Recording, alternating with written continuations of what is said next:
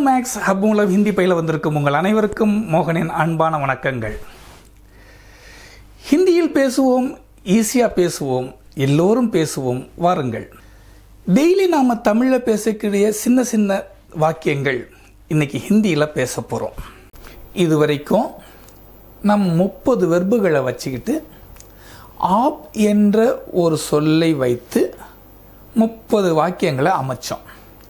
அதெல்லாம் பாசிட்டிவ் வாக்கியங்கள். இப்போ இந்த பாசிட்டிவ் வாக்கியங்களை நெகட்டிவ் வாக்கியங்களாக மாற்றினோம்னா ரொம்ப சிம்பிள் வெர்புக்கு முன்னாடி மத்ங்கிற ஒரே ஒரு வார்த்தை சேர்த்தா போதும். மத் என்றால் தமிழ் அர்த்தம் கூடாது. இங்கிலீஷில் டோன்ட் கூடாது. டோன்ட் மத் மா இத் மத். இது வரைக்கும் நாம் யூஸ் பண்ண இந்த முப்பது வெர்புக்கும் நெகட்டிவ் சென்டென்ஸாக ஒரு அஞ்சு வெர்புக்கு மட்டும் நான் சொல்லி கொடுத்துருவேன். மிச்சம் இருக்கிற இருபத்தஞ்சி வெர்பையும் நீங்கள் தான் அந்த நெகட்டிவ் சென்டென்ஸுக்கு வெர்புக்கு முன்னாடி மத் சேர்த்து சொல்லி சொல்லி பழகணும். அப்போ தான் உங்களுக்கும் ப்ராக்டிஸ் ஆகும். இப்போது நீங்கள் வாருங்கள்ங்கிறதுக்கு என்ன சொன்னோம்? ஆப் ஆயியேன்னு சொன்னோம். இப்போ நீங்கள் வராதீர்கள் என்பதற்கு ஆப் மத் ஐயே யூ டோன்ட் கம் ஆப் ம இத் மத் ஆ ஏ. ஆப் மத் ஐயே அதே மாதிரி நீங்கள் போகாதீர்கள். யூ டோன்ட் கோ ஆப் மத் ஜாயியே ஆப் மத் ஜாயியே நீங்கள் சாப்பிடாதீர்கள் யூ டோன்ட் ஈட் ஆப் மத் खाइए आप मत खाइए आप मत खाइए நீங்கள் குடிக்காதீர்கள் யூ டோன்ட் ட்ரிங்க் आप मत पीजिए आप मत பிஜிஏ ஆப்மத் பிஜிஏ நீங்கள் அழாதீர்கள். யூ டோன்ட் க்ரை ஆப் மத் ரோயியே ஆப் மத் ரோயியே ஆப் மத் ரோயியே நாம் முப்பது வெறுப்புகளும் படித்தோம் பார்த்தீங்களா அந்த வெறுப்புகளுக்கு நேர்மறை வார்த்தை எதிர்மறை வார்த்தை உண்டு. எதிர்ப்பத வார்த்தையும் உண்டு. இப்போ வாங்கங்கிறதுக்கு எதிர்ப்பதம் வந்து போங்க. வாங்கங்கிற வார்த்தைக்கு எதிர்மறை வந்து வராதீங்க. இந்த ரெண்டும் நான் என்ன செய்ய போகிறேன்னா எல்லா இந்த முப்பது வெர்புகளுக்கும் ஒரு வட்டம் நான் வாசித்து ஒரே ஒரு முறை தான் வாசிப்பேன். மனசில் உள் வாங்கிக்கிட்டிங்கன்னா உங்களுக்கு அது ஈஸியாக புரிஞ்சிடும் கொஞ்சம் கவனித்து கேளுங்க நீங்கள் வாங்க. ஆப் ஆயியே நீங்கள் வராதீங்க. ஆப் மத் ஆயியே நீங்கள் உட்காருங்க. ஆப் பைட்டியே நீங்கள் உட்காராதீர்கள். ஆப் மத் பைட்டியே நீங்கள் எந்திரிங்க. ஆப் ஒட்டியே நீங்கள் எந்திரிக்காதீங்க. ஆப் மத் ஒட்டியே நீங்கள் அழுங்க.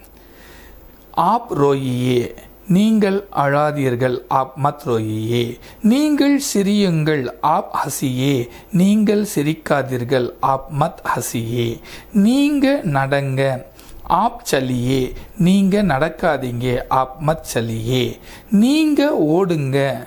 ஆப் தௌடியே நீங்க ஓடாதீங்க. ஆப் மத் தௌடியே நீங்க இறங்குங்க. ஆப் உத்தரியே நீங்கள் இறங்காதீர்கள். ஆப் மத் உத்தரியே நீங்க ஏறுங்க. ஆப் சடியே நீங்கள் ஏறாதீர்கள். ஆப் மத் சடியே நீங்கள் சாப்பிடுங்க. ஆப் காயியே நீங்கள் சாப்பிடாதீர்கள். ஆப் மத் காயியே நீங்க குடிங்க. ஆப் பீஜியே நீங்கள் குடிக்காதீர்கள். ஆப் மத் பீஜியே நீங்க படிங்க. ஆ படியே நீங்கள் படிக்காதீர்கள். ஆப் மத் படியே நீங்கள் எழுதுங்கள். ஆப் லிக்கியே. நீங்கள் எழுதாதீர்கள். ஆப் மத் லிக்கியே. நீங்க கொடுங்க. ஆப் தீஜியே. நீங்க கொடுக்காதீங்க. ஆப் மத் தீஜியே. நீங்க எடுங்க. ஆப் லீஜியே. நீங்கள் எடுக்காதீர்கள். ஆப் மத் லீஜியே. நீங்கள் செய்யுங்கள். ஆப் கீஜியே நீங்கள் செய்யாதீர்கள். ஆப் மத் கீஜியே நீங்கள் பாருங்கள். ஆப் தேக்கியே நீங்கள் பார்க்காதீர்கள். ஆப் மத் தேக்கியே நீங்கள் பாடுங்கள். ஆப் காயியே நீங்கள் பாடாதீர்கள். ஆப் மத் காயியே நீங்கள் ஆடுங்கள். ஆப் நாச்சியே நீங்கள் ஆடாதீர்கள். ஆப் மத் ஆச்சியே நீங்கள் தூங்குங்கள். ஆப் சோயியே நீங்கள் தூங்காதீர்கள். ஆப் மத் சோயியே நீங்கள் வாங்குங்கள். ஆப் கரீதியே. நீங்கள் வாங்காதீர்கள். ஆப் மத் கரீதியே. நீங்கள் விற்கவும். ஆப் பேச்சியே. நீங்கள் விற்காதீர்கள். ஆப் மத் பேச்சியே. நீங்கள் கேளுங்கள். கேளுங்கள் மூணுது இருக்குது आप सुनिए आप मत सुनिए आप पूछिए आप मत पूछिए आप मांगिए आप मत मांगिए பேசுங்க आप बोलिए பேசாதீங்க आप मत बोलिए கூறுங்கள் आप कहिए கூறாதீர்கள் आप मत कहिए வையுங்கள் आप रखिए வைக்காதீர்கள். அப் மத் ரக்கியே நில்லுங்கள். ஆப் ருக்கியே ஆப் மத் ருக்கியே. இன்னைக்கு நடத்தின பாடத்தை எல்லாருமா? முதல்ல ஒரு உங்களுக்குள்ள உங்கள் வீட்டுக்குள்ளேயோ உங்கள் நண்பர்களுக்குள்ளேயோ அல்லது ஃபோனில் பேசுகிற மாதிரியோ எப்படியோ ஒரு அஞ்சஞ்சு பேரை பிரிஞ்சுக்கிங்க. ஏன்னா ஒரு மொழிங்கிறது ஒருத்தர்கிட்ட பேசணும் அதுக்கு அவர் ரிப்ளை பண்ணணும். அப்போ தான் அந்த மொழி வந்து உங்களுக்கு நல்ல முறையில் புரியும். ஈஸியாக மனப்பாடமாகும். அதனால் ஒரு அஞ்சஞ்சு பேர் கொண்ட குழுவாக நீங்களாக பிரிச்சுக்கிங்க. அது உங்கள் வீட்டு உறவினர்களாக இருக்கலாம் அல்லது நண்பர்களாக இருக்கலாம் உங்கள் பள்ளி தோழர்களாக இருக்கலாம் எப்படி வேண்டாலும் இருக்கலாம்.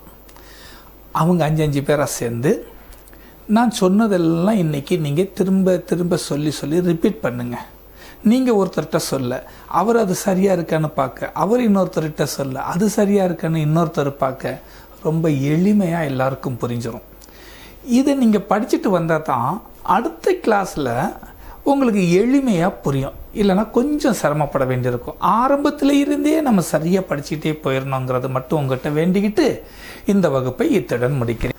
நம்ம சேனலை பார்க்குற எல்லா வியூவர்ஸும் அவசியமாக சப்ஸ்கிரைப் பண்ணுங்க பெல் பட்டனை அழுத்துங்க லைக் பண்ணுங்க ஷேர் பண்ணுங்க. மறந்துடாதீங்க நன்றி.